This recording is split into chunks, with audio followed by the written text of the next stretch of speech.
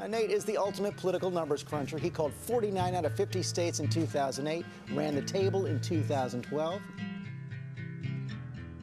Right now, we have Hillary's about a 75 or an 80% favorite, 85% chance. So And it's Donald not, Trump is a 14.1. It's not nothing.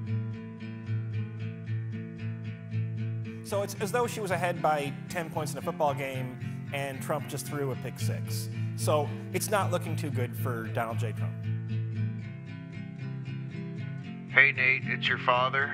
I'm gonna need you to fuck off. Hey Nate, go fuck yourself. Hello, Nate. I'm calling from Dr. Cobb's office. There was an abnormality in the x ray, and we'd like you to come in as a precaution.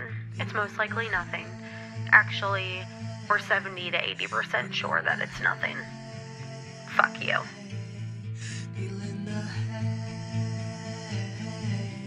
This is an automated message for Nate Silver. Fuck off, ma'am.